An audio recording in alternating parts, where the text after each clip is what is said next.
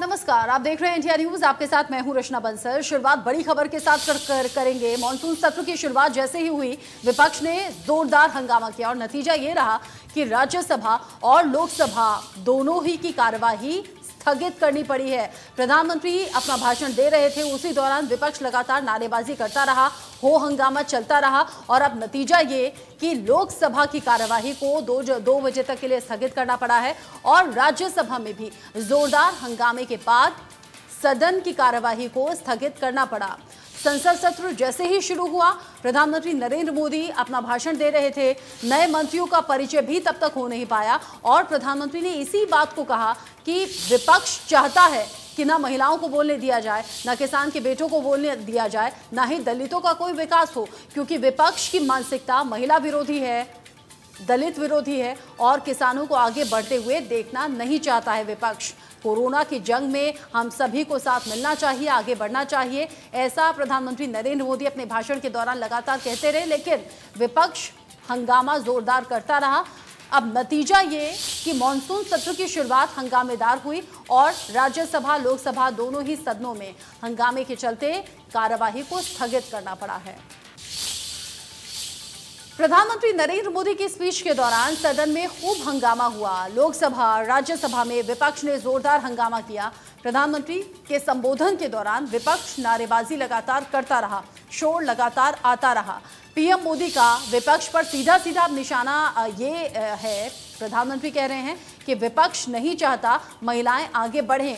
महिलाएँ सदन में बोले। महिला विरोधी, ये मानसिकता है। साथ ही साथ दलित विरोधी मानसिकता भी विपक्ष के लिए प्रधानमंत्री नरेंद्र मोदी ने बोली है। कहा है कि विपक्ष सदन में जोरदार हंगामा सिर्फ़ इसीलिए कर रहा है ताकि महिला ना बोल पाए, ताकि दलितों का विकास ना हो। जो अहम मुद्दे हैं, उनसे ध्यान भटकाने की कोशिश विपक्ष की है। और हमने देखा भी, विपक्ष लगातार हंगामा कर रहा था। प्रधानमंत्री लगातार अपना भाषण दे रहे थे और नतीजा ये रहा कि प्रधानमंत्री को बीच में बैठना पड़ा। जी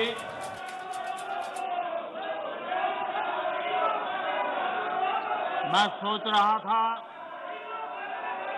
कि आज सदन में एक उत्साह का वातावरण होगा, क्योंकि बहुत बड़ी मात्रा में हमारी महिला सांसद मंत्री बनी है।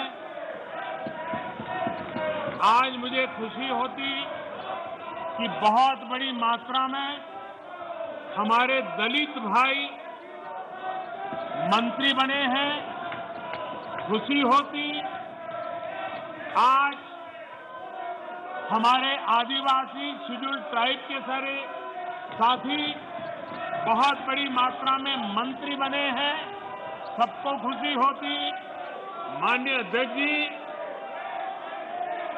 इस बार सदन में हमारे साथी सांसद जो किसान परिवार से हैं, ग्रामीण परिवेश के हैं, सामाजिक, आर्थिक रूप से पिछड़े वर्ग से हैं, ओबीसी समाज से हैं, बहुत बड़ी मात्रा में उनको मंत्री परिषद में मौका मिला, उनका परिचय करने का आनंद होता। हर बैंक पर से, बैंक को थपथपा करके उनका गौरव किया गया होता। लेकिन शायद देश के दलित मंत्री बने, देश की महिला मंत्री बने, देश के ओबीसी मंत्री बने, देश के किसानों के बेटे मंत्री बने, ये बात कुछ लोगों को राज नहीं आती है और इसलिए उनका परिचय तक नहीं होने देते हैं। और इसलिए मान्य अध्यक्ष जी मंत्रिमंडल में नव नियुक्त सदस्यों को लोकसभा में इंट्रोड्यूस समझा जाए।